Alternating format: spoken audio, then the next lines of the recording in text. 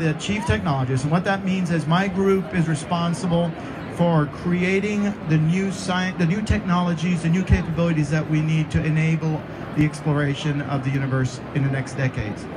A lot of what we do at NASA is basically making the impossible possible. And in order to do that, we have to come up with approaches and, and ideas that just don't exist. So I'm going to tell you now a little bit about what we're doing, how, how we do it, and how it affects you.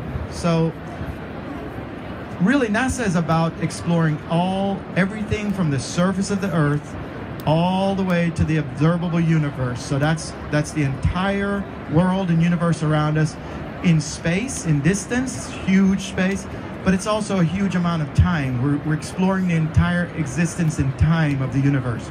But when we talk about our, our telescopes looking into the deepest parts of the universe, we're also looking back in time, all the way to the beginning of the Big Bang.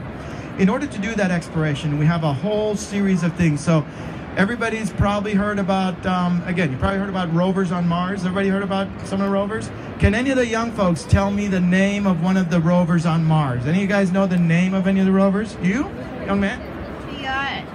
Curiosity. Curiosity, that is correct. There you go, you get a pin.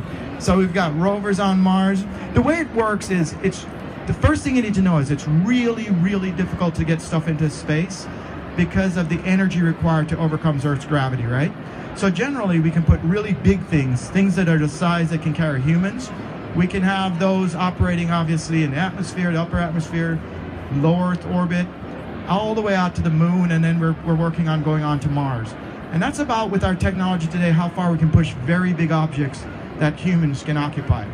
Beyond that, we use these rovers, which are essentially kind of our scouts. They're intelligent machines that go ahead of the humans and we can send them further. We've sent those machines to Mars, we've sent them to every planet in our solar system. And they're really there doing the prospecting, kind of discovering what's there so that we can send humans afterwards. And they're learning about all our planets. And beyond that, in the furthest distance out into, into the solar system, past our solar system, into the galaxy and the rest of the universe, we use the telescopes. And they're able to look out into the universe way far away where we still can't send things, but we can learn a lot about distant objects by the, the information that comes to us. So that's kind of the range of things that NASA does. They're all related. And they kind of, what we're engaged in is really two things. One, we're working to develop technology that helps us to move that, that boundary further and further. How far can we send humans? How can we send robots further? And the telescopes even looking even further and keep moving our exploration outward.